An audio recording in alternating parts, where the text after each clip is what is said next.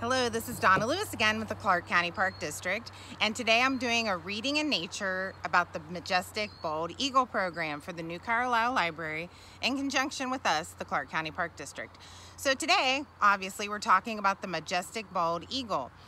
Bald eagles are phenomenally in a lot of places now that they didn't used to be, and we'll talk about that, why that is. First, we're going to read a book, and it is called Eaglet's World written by Evelyn Minshall and illustrated by Andrea Gabriel.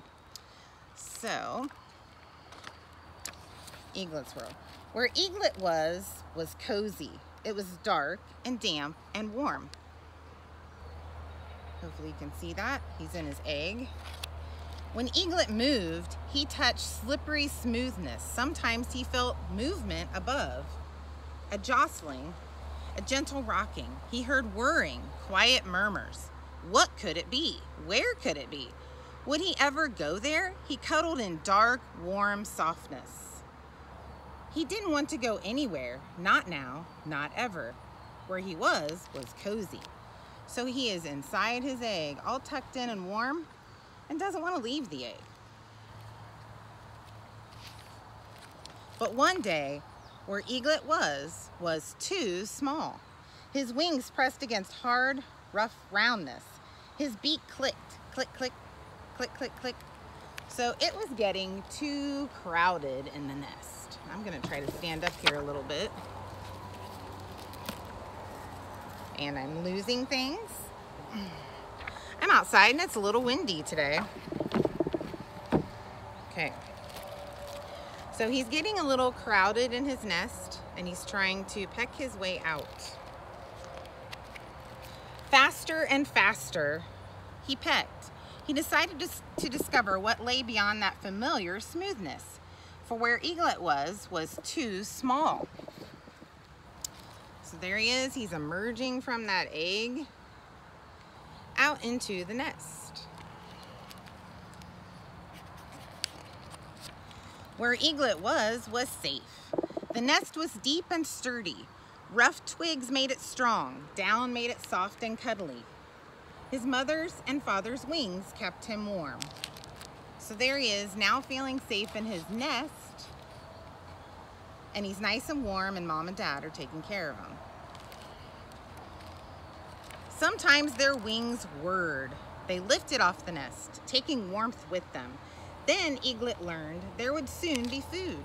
He opened his beak wide for wriggling insects or soft mushy grubs or small firm fragments of fish. He would stay here forever, forever. Where he was, was warm and safe. So there's mom or dad bringing him some food. Again, mom and dad both help and there's she or he is feeding him his food. Where Eaglet was, was becoming crowded. Once the nest had seemed huge. Now he felt scrunched between his parents. Sometimes sharp twigs jabbed him. When his mother and father left him alone, he wondered, what was it like beyond the rough rim of the nest? Stretching his neck, he saw blue, blue, blue everywhere, and his parents flying closer. Food, food for him. He didn't need blueness. He'd stay in this nest forever.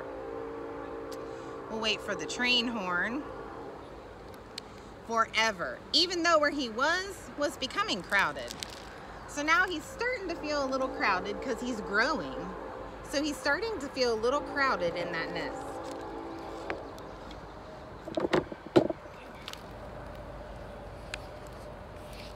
Where Eaglet was, was frightening. His parents had coaxed him to the edge of the nest. He didn't like it there. He clutched twigs with his talons as the wind rocked him back and forth, back and forth. It was cool and stroking. It ruffled his feathers. What was it, he wondered. He didn't want to know. He wanted the deep, safe, crowded nest. So, mom and dad are trying to get him to fly, and it's scaring him a little bit. Can you imagine? You've not flown before, and all of a sudden, you have to go out and fly. But his mother kept prodding him gently. Spreading his wings, his father moved outward into blueness, then back again. Surely they didn't expect him to follow. He didn't want to, he wouldn't. He wouldn't leave the nest. Never, never. So they're like, come on, buddy, you can do it. They're trying to coax him out of that nest. That would be pretty scary. They showed him again how easy it looked for them. Couldn't they see that his wings weren't as wide as theirs? He felt himself wobbling. He'd fall. He just knew it. He didn't want to fly. He wanted things to be as they had been, forever, forever. So he didn't want to go yet out into the blue, blue sky. His mother nudged him, and suddenly he could no longer feel the nest. He screamed, for where he was, there he is, out there in the blue, blue sky. He scrambled into nothing. Oh, where he was was terribly frightening. I'm missing a page. He scrambled into nothingness, but his mother and father were there. Their wings would keep him from falling.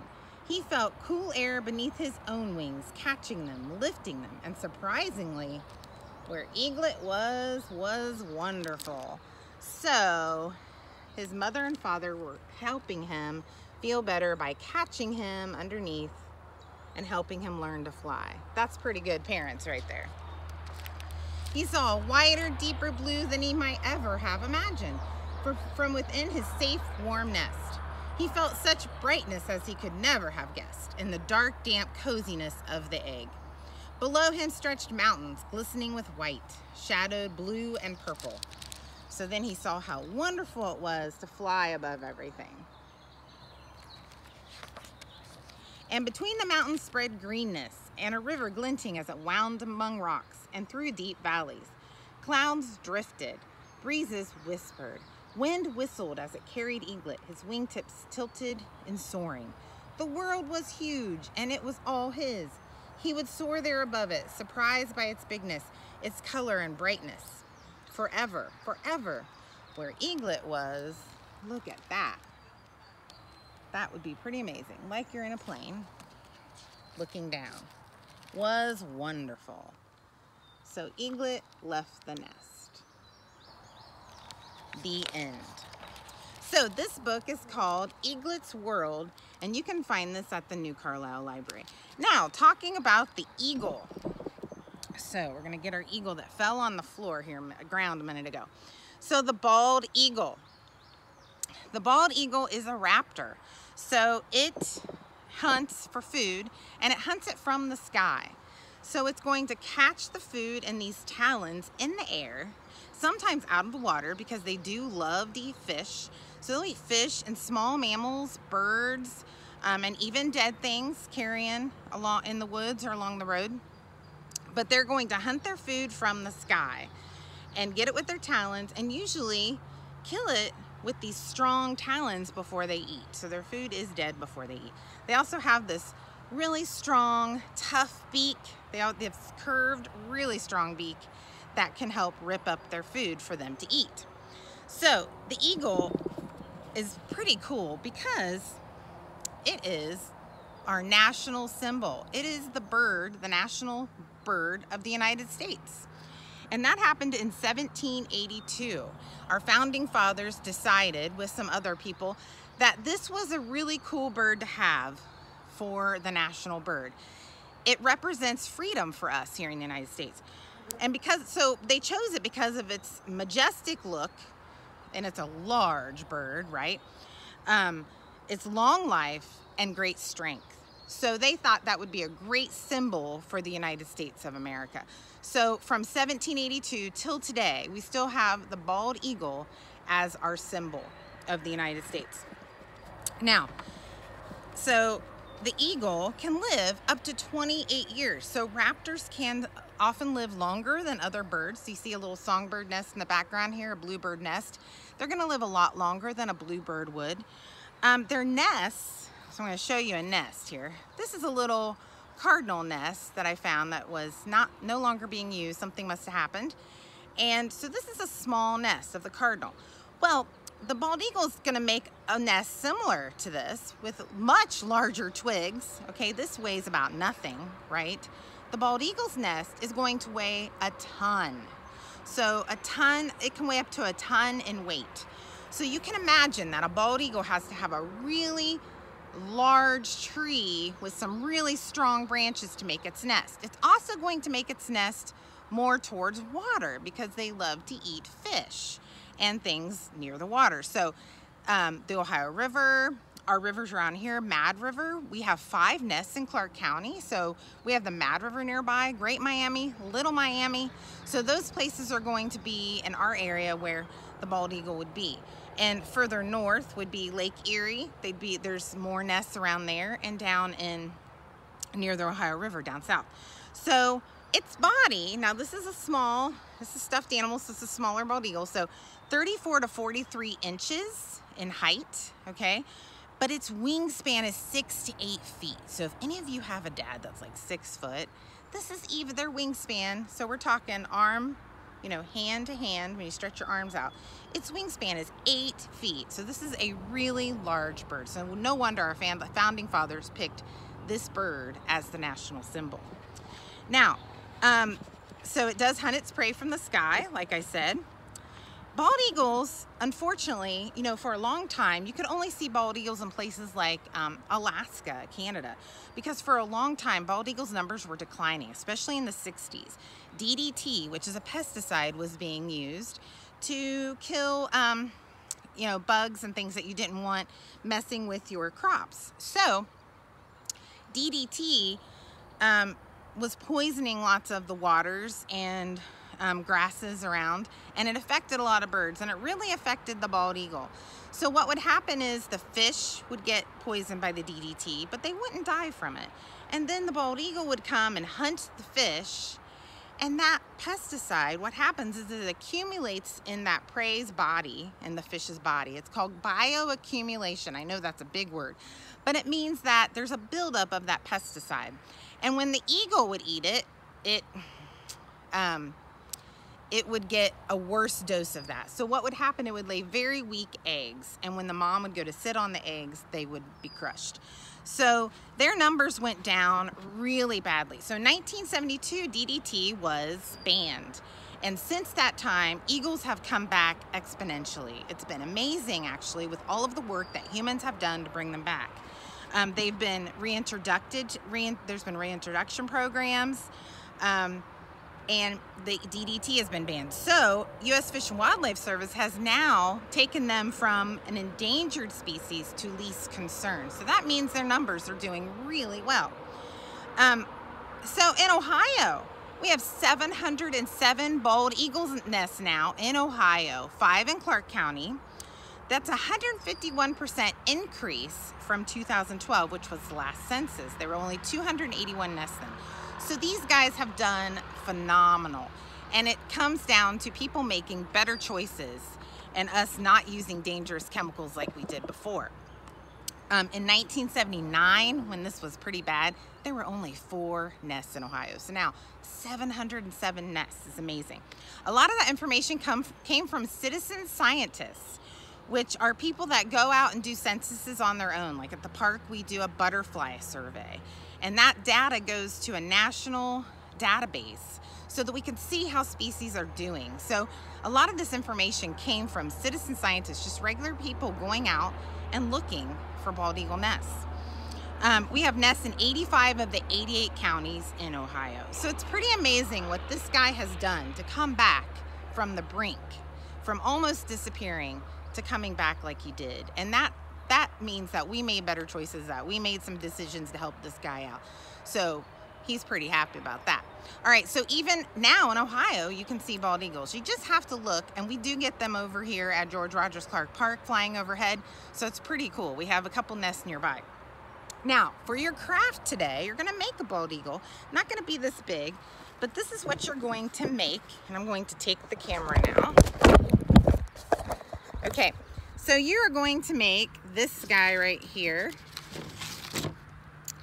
All right, so this is our bald eagle we're going to make. I'm gonna put the camera back.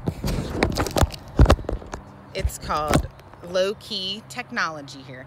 Okay, so we're gonna make this guy. And all you need, you need your hands, okay? You need some paper. You need our template. So if you go on our website, I think the library has it available as well. You need this template to print out, or you can just look at the picture and draw it yourself, okay? So you're gonna cut out the head, the body, the beak, and these are gonna be your little feet, the end of your feet, okay? Now you can do this with white, you can do your handprint with your white paper or brown paper and just color it. So what I did is I used mostly, um, on our supply list I have all these different colors paper, but what I did is I just used mostly white paper. You can do the same thing for your handprint. So you're gonna have to trace your hands, cut out each part, and then all I did was I taped them together, okay? And on my supply list, I have googly eyes, which would look really cool, but most of you aren't gonna have those. So I just made eyes right here, and I made mine a female. Now, most of the time, feet, when you see eagles in the wild, the larger eagles are going to be the females, and the smaller ones are the males. Other than that, they look pretty much alike. So this is your craft today. Super easy. I didn't go through the steps because I didn't think I really needed to go through the steps for this guy, but make sure you try to make him. He was super easy. It took me about 10 minutes and you guys could do an even better job than I can, I'm sure. I'm not the best at crafts. Okay, so this is your supplies. I put them all in a little container. You need markers or different colored paper, pencil, scissors, and tape. So very easy supplies. If you have googly eyes, you can use them. If not, you can just draw your eyes on. Get creative. It's your eagle, okay? You can make it how you want it. And this is really great with the 4th of July coming up which is our national holiday, and the eagle being our national symbol, this would be a fun thing to make this weekend. Now, um, what I would like you to do is to comment on our Facebook page after you watch this. Make sure you get on our Facebook page on the, the Clark County Park District's Facebook page. Make a comment like, oh, that was fun, or hi, or whatever. Just appropriate comments. Just send me a line, and then I will pick a winner for our little bald eagle here with our flag. He's our little prize for watching this video. Make a comment. I'd love it if you put down something that you learned. That would be fabulous. You can win this guy from the park. Now, for the library, you need your magic word for your summer reading program, right? So the magic word today is majestic, okay? The bald eagle is very majestic, a beautiful bird, and I hope that you can get outside and see this majestic bird for yourself make your craft with your mom or dad or your brother and sister, have fun. And hopefully you learned a lot about the bald eagle today. So remember to look for raptors in the sky around your house.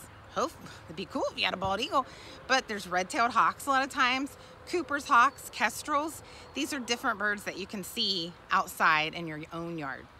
All right, that's it for today, guys. Thank you so much for watching today. Bye-bye.